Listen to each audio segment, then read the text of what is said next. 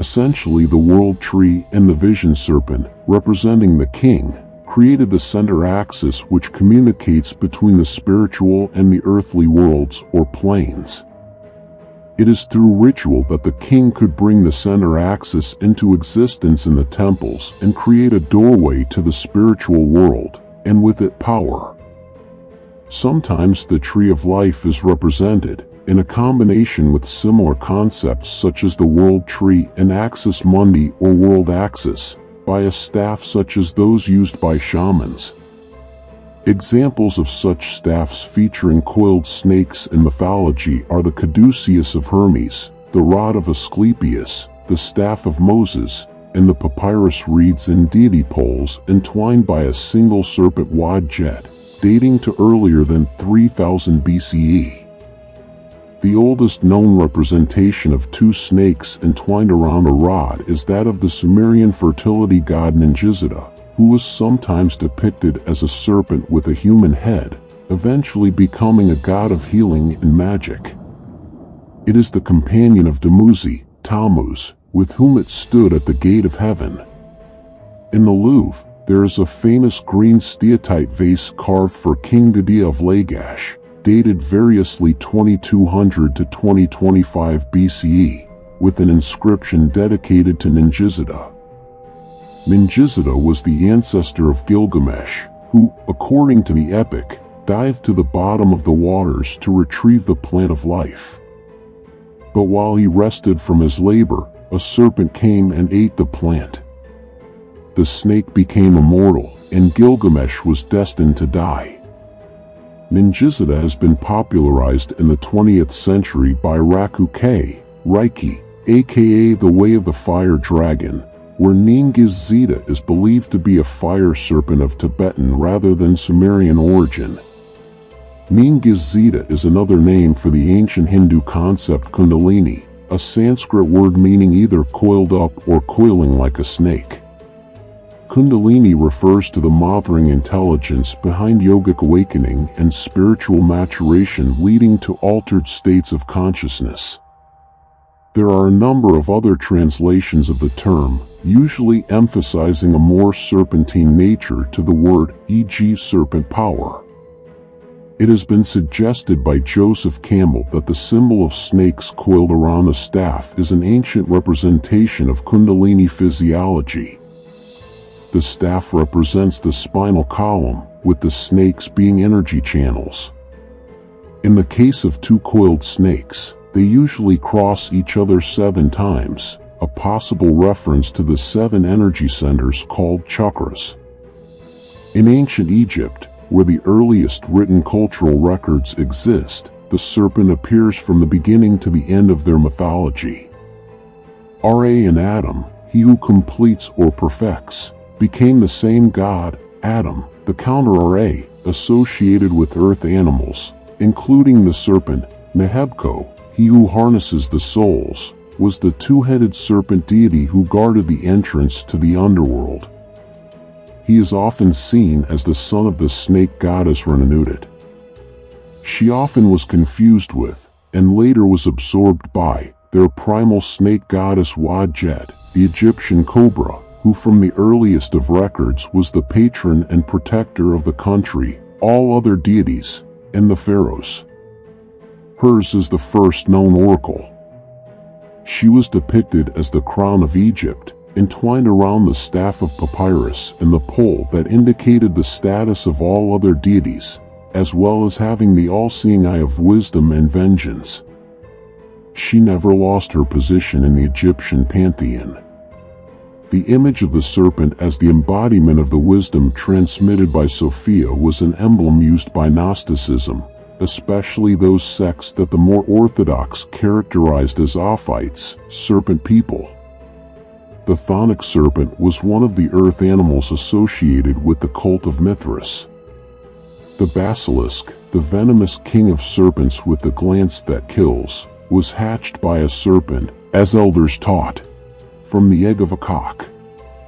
Outside Eurasia, in Yoruba mythology, Oshunmare was another mythic regenerating serpent. The rainbow serpent, also known as the rainbow snake, is a major mythological being for Aboriginal people across Australia, although the creation myths associated with it are best known from northern Australia. In Fiji, Ratumaibulu was a serpent god who ruled the underworld and made fruit trees bloom. In the northern Flinders Ranges reigns the Arkaroo, a serpent who drank Lake Frome empty, refuges into the mountains, carving valleys and waterholes, earthquakes through snoring. Cosmic Serpents The serpent, when forming a ring with its tail and its mouth, is a clear and widespread symbol of the all-in-all, the totality of existence, infinity, and the cyclic nature of the cosmos. The most well-known version of this is the Egypto-Greek Ouroboros.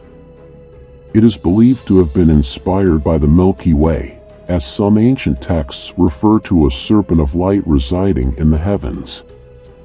The ancient Egyptians associated it with Wadjet, one of their oldest deities, as well as another aspect, Hathor. In Norse mythology, the world serpent, or Midgard serpent, known as Jormungandr, encircled the world in the ocean's abyss, biting its own tail.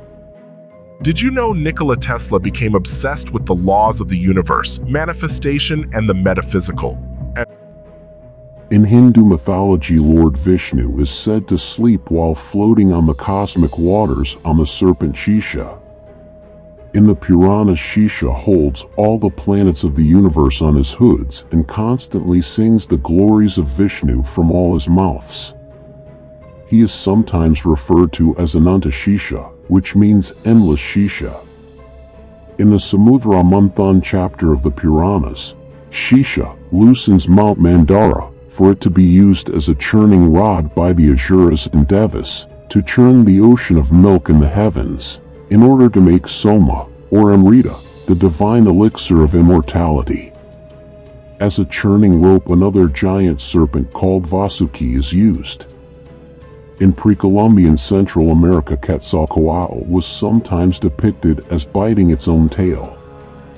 The mother of Quetzalcoatl was the Aztec goddess Coatlicue, the one with the skirt of serpents, also known as Cihuacoatl, the Lady of the Serpent. Quetzalcoatl's father was Mixcoatl, Cloud Serpent. He was identified with the Milky Way, the stars, and the heavens in several Mesoamerican cultures. The demigod Aidophedo of the West African Ashanti people is also a serpent biting its own tail. In the Dahomey mythology of Benin in West Africa, the serpent that supports everything on its many coils was named Dan. In the Vodou of Benin and Haiti, Ayadowedo, aka Idawedo, Ado rainbow serpent, is a spirit of fertility, rainbows and snakes, and a companion or wife to Dan, the father of all spirits. As Vodou was exported to Haiti through the slave trade, Dan became Dambala, Dambala or Dambalawedo. Because of his association with snakes, he is sometimes disguised as Moses, who carried a snake on his staff. He is also thought by many to be the same entity of St. Patrick, known as a snake banisher. The serpent Hydra is a star constellation representing either the serpent thrown angrily into the sky by Apollo or the Lernaean Hydra as defeated by Heracles for one of his twelve labors. The constellation Serpens represents a snake being tamed by Ophiuchus the snake handler, another constellation.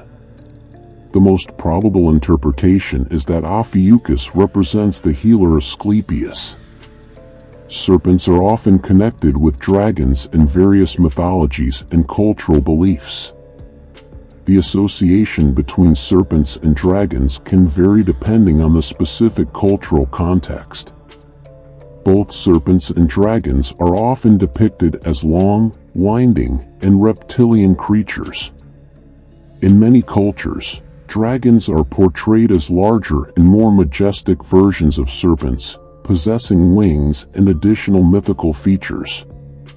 Serpents and dragons share similar symbolic meanings in many cultures. They are often associated with power, strength, wisdom, and the primal forces of nature. In some mythologies, both creatures are considered guardians of sacred knowledge or treasures. Dragons and serpents are frequently associated with cosmic and elemental forces. They are often connected to the elements of water and earth, and their presence is believed to influence the natural world. Many myths and legends feature serpents that transform into or are associated with dragons. These stories often involve themes of transformation, heroism, and the battle between good and evil. In some cases, the distinction between serpents and dragons might blur due to cultural syncretism. This occurs when elements from different cultures merge, leading to serpents and dragons sharing characteristics and roles. In East Asian cultures, dragons are revered creatures symbolizing power, prosperity, and good fortune. Chinese, Japanese, and Korean dragons are typically benevolent beings associated with rain, water bodies, and agricultural abundance. Their serpentine appearance links them to the serpent symbolism present in other cultures. In European mythology, dragons are often depicted as powerful and fearsome creatures, often hoarding treasures and acting as adversaries to heroic figures. They are often associated with fire, and their appearance has been influenced by various cultural influences over time, having similar symbolic functions. The venom of the serpent is thought to have a fiery quality similar to a fire-breathing dragon. The Greek Ladon and the Norse Nidhoggnugr are sometimes described as serpents and sometimes as dragons. In Germanic mythology, serpent is used interchangeably with the Greek borrowing dragon. In China and especially in Indochina, the Indian serpent Naga was equated with the long or Chinese dragon. The Aztec and Toltec serpent god Quetzalcoatl also has dragon-like wings, like its equivalent in K'iche' Maya mythology Cucumatz, feathered serpent, which had previously existed since classic Maya times as the deity named Kukulkan. In Africa the chief center of serpent worship was Dahomey, but the cult of the python seems to have been of exotic origin, dating back to the first quarter of the 17th century. By the conquest of Whydah the Dahomeans were brought in contact with a people of serpent worshippers, and ended by adopting from them the beliefs which they at first despised. At Whydah, the chief center, there is a serpent temple, tenanted by some 50 snakes. Every python of the Danbai kind must be treated with respect, and death is the penalty for killing one, even by accident. Danbai has numerous wives, who until 1857 took part in a public procession from which the profane crowd was excluded. A python was carried round the town in a hammock, perhaps as a ceremony for the expulsion of evils. The rainbow god of the Ashanti was also conceived to have the form of a snake. His messenger was said to be a small variety of boa, but only certain individuals, not the whole species, were sacred. In many parts of Africa the serpent is looked upon as the incarnation of deceased relatives. Among the Ama Zulu, as among the Betsileo of Madagascar, certain species are assigned as the abode of certain classes. The Maasai, on the other hand, regard each species as the habitat of a particular family of the tribe. In ancient Mesopotamia, Mira, the messenger god of Ishtaran, was represented as a serpent on Kudurrus, or boundary stones. Representations of two intertwined serpents are common in Sumerian art and Neo-Sumerian artwork and still appear sporadically on cylinder seals and amulets until as late as the 13th century BCE. The horn viper, Cerastes cerastes, appears in Kassite and Neo-Assyrian Kudurrus, and is invoked in Assyrian texts as a magical protective entity. A dragon-like creature with horns, the body and neck of a snake, the forelegs of a lion, and the hind legs of a bird appears in Mesopotamian art from the Akkadian period until the Hellenistic period, 323 BCE, 31 BCE.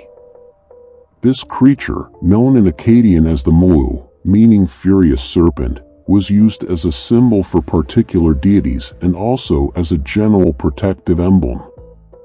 It seems to have originally been the attendant of the underworld god Ninazu, but later became the attendant to the Hurrian storm god Tishpak, as well as, later, Ninazu's son Ningishzida, the Babylonian national god Marduk, the scribal god Nabu, and the Assyrian national god Ashur. Snake cults were well established in Canaanite religion in the Bronze Age, for archaeologists have uncovered serpent cult objects in Bronze Age strata at several pre-Israelite cities in Canaan, two at Megiddo, one at Gezer, one in the Sanctum Sanctorum of the Area H Temple at Hazor, and two at Shechem. In the surrounding region, serpent cult objects figured in other cultures. A late Bronze Age Hittite shrine in northern Syria contained a bronze statue of a god holding a serpent in one hand and a staff in the other. In 6th century Babylon, a pair of bronze serpents flank each of the four doorways of the Temple of Esagila. At the Babylonian New Year's festival, the priest was to commission from a woodworker, a metalworker, and a goldsmith two images, one of which shall hold in its left hand a snake of cedar, raising its right hand to the god Nabu. At the Tell of Tepe Gawra, at least 17 early Bronze Age Assyrian bronze serpents were recovered. Significant finds of pottery, bronzeware, and even gold depictions of snakes have been made throughout the United Arab Emirates, UAE. The Bronze Age and Iron Age metallurgical center of Saruq al-Hadid has yielded probably the richest trove of such objects, although finds have been made bearing snake symbols in Bronze Age sites at Rumaila, Bithna, and Masafi. Most of the depictions of snakes are similar, with a consistent dotted decoration applied to them. Although the widespread depiction of snakes in sites across the UAE is thought by archaeologists to have a religious purpose, this remains conjecture. Judaic mythology In the Hebrew Bible the serpent in the Garden of Eden lured Eve with the promise of being like God, tempting her that despite God's warning, death would not be the result, that God was withholding knowledge from her. Although the serpent is identified as Satan in the book of Revelation, in Genesis the serpent is portrayed merely as a deceptive creature or trickster, promoting as good what God had directly forbidden, and particularly cunning in its deception. Genesis chapter 3. The staff of Moses transformed into a snake and then back into a staff. Exodus chapter 4. The book of Numbers chapter 21 provides an origin for an archaic copper serpent, Nehushtan, by associating it with Moses. This copper snake according to the biblical text is put on a pole and used for healing. Book of Numbers 21 9 And Moses made a snake of copper, and put it upon a pole, and it came to pass, that if a snake had bitten any man, when he beheld the snake of brass, he lived. When the reformer King Hezekiah came to the throne of Judah in the late 8th century BCE, he removed the high places, broke the sacred pillars, smashed the idols, and broke into pieces the copper snake that Moses had made, for unto those days the children of Israel did burn incense to it, and he called it Nehushtan. Christian Mythology In the Gospel of John chapter 3, verse 14 to 15, Jesus makes direct comparison between the raising up of the Son of Man and the act of Moses in raising up the serpent as a sign, using it as a symbol associated with salvation. As Moses lifted up the serpent in the wilderness, even so must the Son of Man be lifted up, that whoever believes in him should not perish but have eternal life. Muslim Mythology the serpent is a recurrent motif in Islamic thought, appearing in both sacred texts representing evil and works of art. The creature is often seen as a symbol of evil and punishment. The serpent is a complex figure in Islamic thought, appearing as both a symbol of evil and a figure of wisdom. The creature provides a reminder of the dangers of temptation. Serpents are sacred and powerful in the thought of prehistoric cultures of Iran, having been portrayed as patrons of fertility, water, and wealth in the ancient objects of Iran. They seem to have been worshipped along with the fertility goddesses from the 4th to 1st millennia BC, when their presence as mighty patrons and source of life and of immortality is seen in the art of Talai Bakun, Chogamish, Tepe Sialk, Jiroft culture, Shahr-i Sokhta, Shah, Elamite art, Luristan art, etc. However, it seems that the symbolic concept of the serpent was corrupted in the cultures of the Iranian plateau over time by Western influence. In Abrahamic traditions, the serpent represents sexual desire, as he lured Eve with the promise of forbidden knowledge in the Garden of Eden. As a result of such influence, Aryan religions call the serpents diabolic. Azi Dahaka in the Avesta is a scary serpent, and Zahak in the Shahnameh is an infernal creature with two snakes on his shoulders. This replacement might be due to communication between the inhabitants of Iran and believers in Abrahamic religions, and beyond that the conversion of matriarchy into patriarchy as the social structure of Iranian plateau cultures.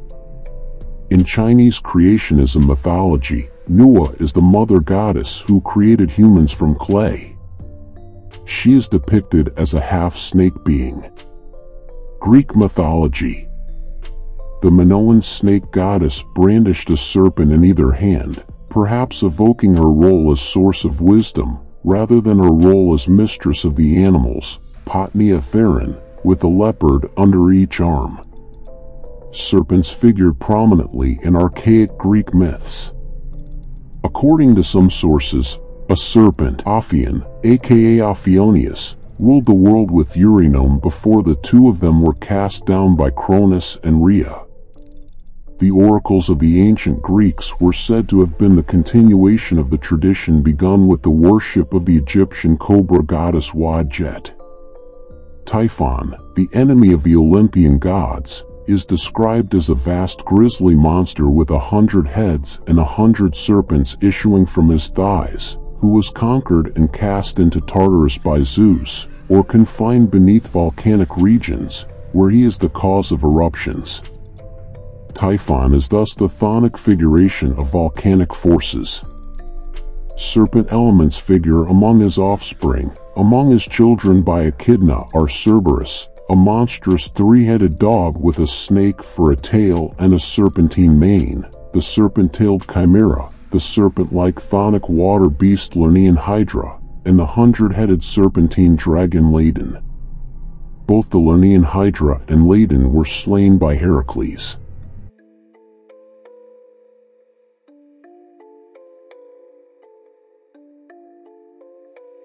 History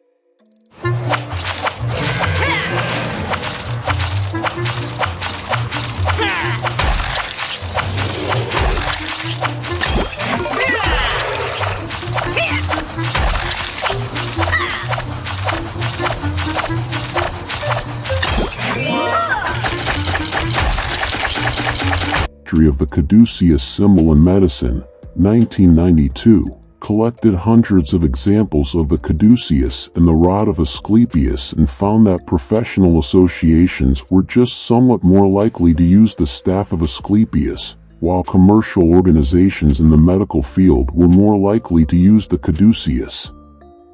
Following the Christian context as a symbol for evil, serpents are sometimes featured in political propaganda. They were used to represent Jews in anti-Semitic propaganda. Snakes were also used to represent the evil side of drugs in such films as Narcotic,